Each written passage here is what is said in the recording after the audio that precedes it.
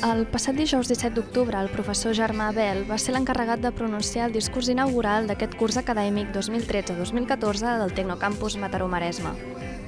El catedràtic d'Economia Aplicada de la Universitat de Barcelona i professor visitant de la Universitat de Princeton dels Estats Units, durant el seu Parlament d'inici de curs va parlar sobre logística i infraestructures, duent com a títol Les infraestructures a Catalunya.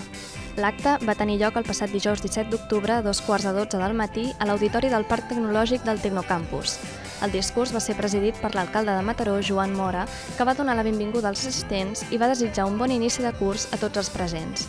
Per més informació sobre l'acte i el Parc Tecnològic, www.tecnocampus.cat.